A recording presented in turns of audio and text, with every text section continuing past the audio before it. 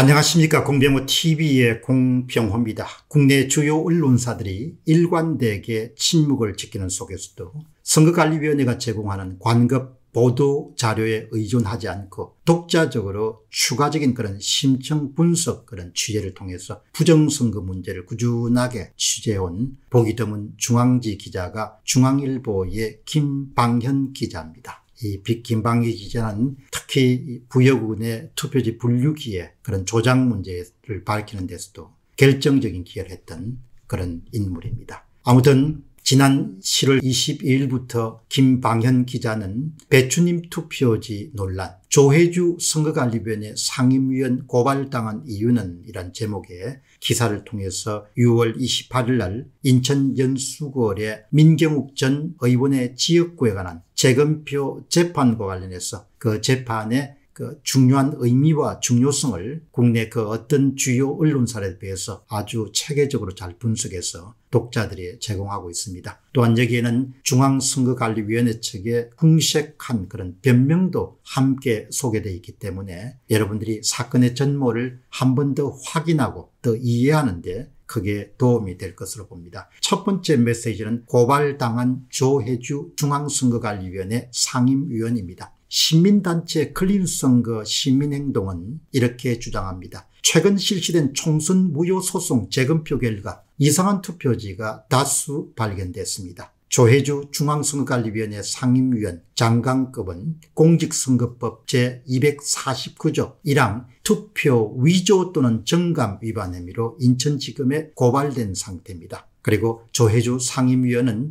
최근 청와대에 사의를 표명한 것이 취재 결과로 확인됐다 이렇게 김방현 기자가 주장합니다. 따라서 인천지검은 지난 7월 15일 날 고발인을 불러 조사했습니다. 고발인은 오건호 유튜브 채널 미디어A 겸 클린선거 시민행동의 공동대표입니다. 두 번째 핵심 메시지입니다. 사전투표용지 중첩 인쇄는 불가능하다. 클린 선거 시민행동의 고발장은 아주 중요 내용을 담고 있습니다. 사전투표용지는 Epson 프린터 TM-C3400 인쇄 잉크젯 프린터로 한 장씩을 출력하는 데다가 프린터가 양면 인쇄, 역방향 이동 등 그런 기능이 전혀 없기 때문에 서로 다른 투표용지가 중첩돼서 출력될 수가 없다. 따라서 이른바 지역구 사전투표지와 비례대표 사전투표지가 중첩 인쇄된 투표용지는 절대로 프린트해서 출력될 수 있는 것이 아니다. 또한 비례투표지는 파란색이어서 중첩된 상태로 인쇄된 투표지는 위 3분의 2 정도는 흰색이고 아래 일부분 녹색이었다. 이 때문에 배춧잎 투표지로 현재 소문이 나 있다.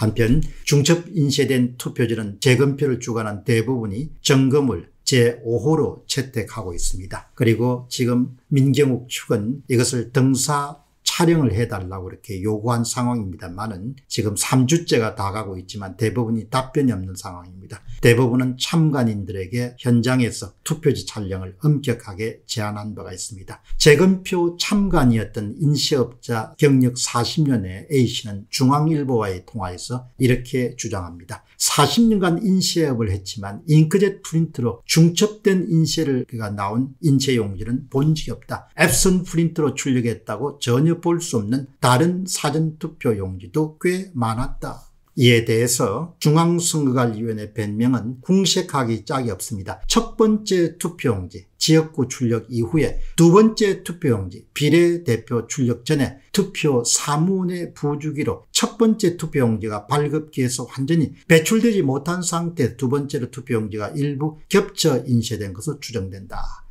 그러니까 중앙선거관리위원회는 처음부터 끝까지 거짓말을 하는 겁니다. 처음부터 끝까지. 그렇게 이 양반들은 전혀 진실이라고는 없는 겁니다. 프린트는 기계입니다. 기계는 그냥 처음에 만들어진 의도대로 움직이게 됩니다. 프린터기에서는 중첩 인쇄 기능이 전혀 없습니다. 프린터에서는 이 같은 중첩 인쇄 현상이 발생할 수가 없습니다. 이런 점에서 보면은 중앙선거관리위원회는 현재의 어려운 상황을 벗어나기 위해서 명백한 거짓말을 대국민을 상대로 대언론을 상대로 하고 있다. 이렇게 볼 수 있겠습니다. 그럼 왜 거짓말을 하느냐? 잘못한 일이 있기 때문에 잘못을 은폐하기 위해서 계속해서 거짓말을 하는 겁니다. 세 번째 핵심 메시지는 접착제로 붙어 있는 투표지입니다. 클린 선거 시민행동의 고발장은 이런 내용을 담고 있습니다. 재검표 과정에서 투표지 여러 장이 본드, 접착제로 붙어 있거나 투표지에 burr, BURR입니다. 깨끗하게 절단되지 않고 늘어나 가느다란 실이나 또 띠 모양으로 돌출된 형태가 발생한 것도 발견됐다. 시민단체와 인쇄업체의 대표의 주장입니다. 투표지에 붙어 있는 접착제는 공업용이다. 엡손 프린트로 인쇄하면 이런 형태의 투표용지는 나올 수가 없다. 또한 투표지 좌우 여백이 맞지 않는 투표지도 다수 나왔는데 프린트에선 좌우 여백을 균형 있게 유지하는 locking 기능이 장착되어 있기 때문에 좌우 여백이 틀린 그런 것은 등장할 수 없고 오로지 좌우 여백이 틀린 것은 인쇄를 마친 후에 절단 과정에서는 얼마든지 좌우 여백이 틀릴 수가 있다는 것이죠.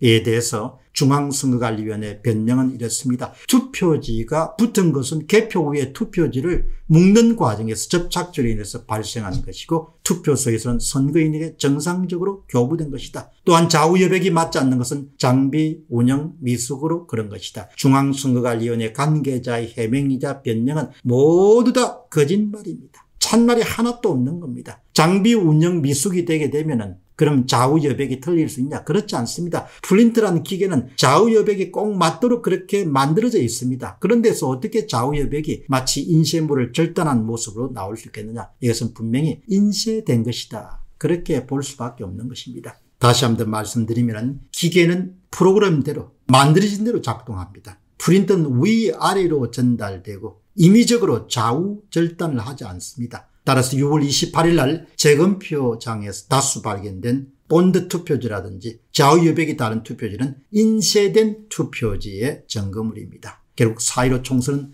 총체적 부정선거였습니다. 더욱 충격적인 것은 공정한 선거관리를 집행해야 된 공적기관인 중앙선거관리위원회가 각급 선관위가 부정선거에 깊이 연루되어 있고 부정선거를 주도했다는 그런 강한 의심을 낳을 수밖에 없는 증거물이 다수 발견된 겁니다. 시민들은 분노합니다. 세금으로 운영된 공적기관이 특정 정권의 정권 재창출을 위해서 이렇게 이용당할 수 있겠느냐. 바라님입니다. 뭐라고요? 똑바로 하시기 바랍니다. 지금 나타난 것은 빙산의 일각입니다. 통째로 인쇄한 투표지로 투표함을 갈았고 서버를 통해 개표 자체를 상수값을 설정 조작했습니다. 100% 조작된 선거입니다. 이 부정은 2017년 전국 지방자치장제장 선거 교육감 선거에서부터 과감하게 서버를 통해 조작 부정을 했고 여론 조작 지난 대선 때부터 아주 크게 했습니다. 김경수가 2년 감옥행위 이해가 갑니까? 재심에서 더 은벌에 취해야 됩니다. 배춧잎 투표전은 시작일 뿐이고 언론은 이제 분명히 나서야 됩니다. 당신들이 사는 길이 나서는 것입니다. 백공공님입니다. 국민의 세금으로 운영되는 중앙선거관리위원회가 고압적이고 거짓말한 자들이 많습니다. 가장 공정해야 될 기관이 부정의 온상이 되어버렸습니다. 검찰과 대법원은 철저히 수사 판결에서 엄중 처벌하고 모두 구속해야 됩니다.